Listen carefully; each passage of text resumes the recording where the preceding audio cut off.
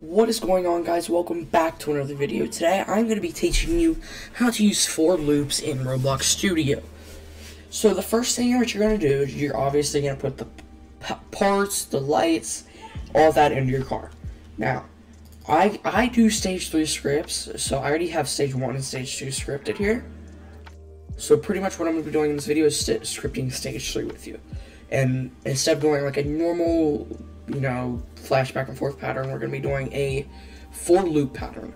Which pretty much what it does is it makes it flash three times on one side and then flash three times on the other side. So what it does is it does that in amount of a time. So say we do 0.3 seconds. So it'll flash three times in 0.3 seconds and then flash three times on the other side in 0.3 seconds, if that makes sense. So what we're going to be doing here is now what we're going to do is we're going to type for loop equals 1 slat dat 1 comma 3 do.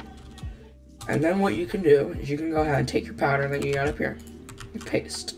Now, I'm going to go ahead and be creating a pattern here. You can do any pattern really. I'm just going to be doing a simple pattern and I'm gonna go ahead and do the time as 0.4. I suggest you do that. It's a really good pattern for uh, for loop patterns. So now once you have that scripted, what you're gonna do, you're gonna enter and paste that down here. But instead of doing the opposite, what you do is you change all of these to one. Normally on a normal script, like as you can see up here, I did this and then I did the opposite. So instead of doing that, you put all ones. Now, under this end here, you're gonna click on on the end of the end and hit enter. So it's gonna bring you down one.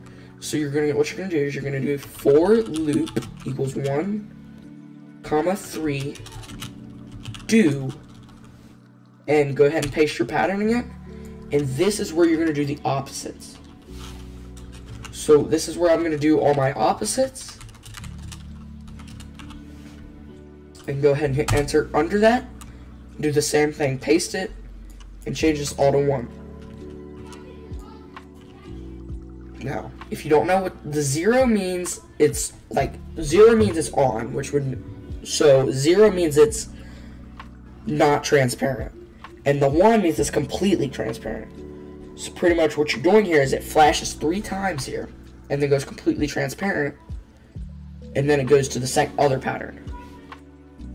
Now, under this end, on the end of this end, hit enter, hit backspace, and go else, enter, paste, get rid of, you can keep the wait time, I like to get rid of it, and then change this all to one, just like so. Now that you have that, you can go ahead and exit out, and if you go ahead and go into your game, it's, now you will have your loop patterns. So as you can see, I already have the stage 1 and stage 2, but here's your loop patterns.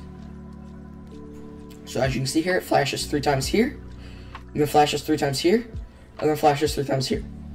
So it's gonna do that for every time. So what you what it does is it flashes three times over here, and waits 0.04 seconds, and does the same thing over here, and then does it in the middle, and does the same thing.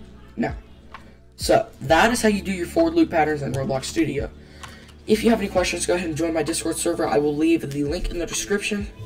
Um, if you did enjoy this video, make sure you like, subscribe, and I'll see you in the next one. Peace.